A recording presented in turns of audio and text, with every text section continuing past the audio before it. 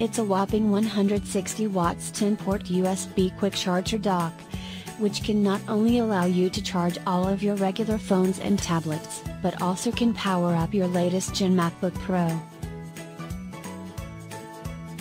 It has a nice glossy finish that complements your workspace, alleviating a lot of extra adapters you used to need. The charging dock comes with 10 USB fast charging ports, one of which is QC 3.0 supported. QC 3.0 is four times quicker than conventional chargers.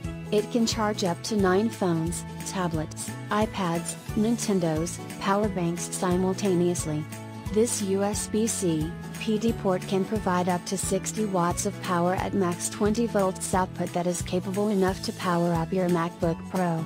It come with high quality dividers, 6 pieces short, and 5 pieces tall.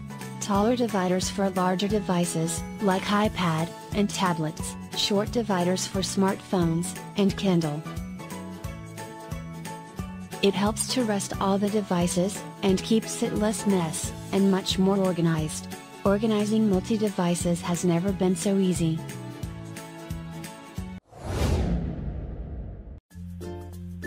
Tired of tangles and phones without charge? Check out the Gus Multi-Charger. Organizes cords and saves space while charging five devices. Simply organize your cords in the elastic bands in the base. The charging pins will be easy to find.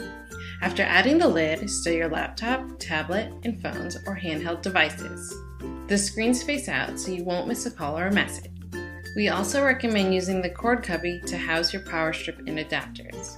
Check out more solutions at greatusefulstuff.com.